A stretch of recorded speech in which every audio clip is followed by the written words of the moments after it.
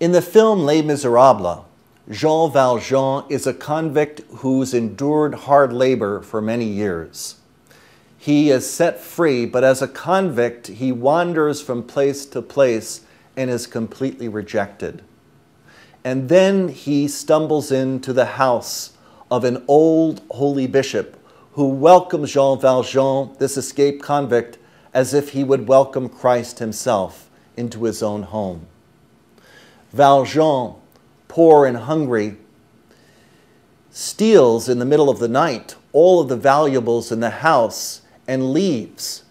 He is caught by the authorities and brought back to the bishop. But the bishop says to the authorities with a glowing face of charity that Jean Valjean has forgotten the most valuable things the candlesticks from the dining room set.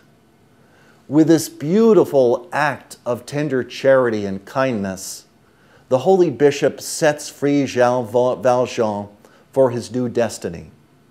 Valjean rediscovers hope, meaning, and purpose in his life, and he makes incredible contributions of charity to every person he meets.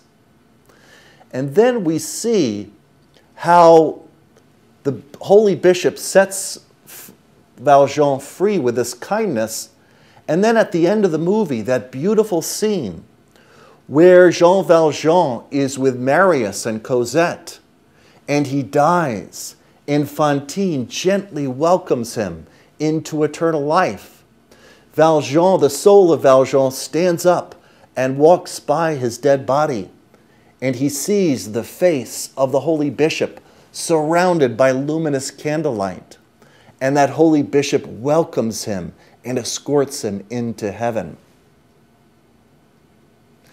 There are beautiful residences between the spirit of this holy bishop who sees the face of Christ in the poorest of the poor, as Hugo would say, Les Miserables, and the beautiful spirit of our Holy Father, Pope Francis.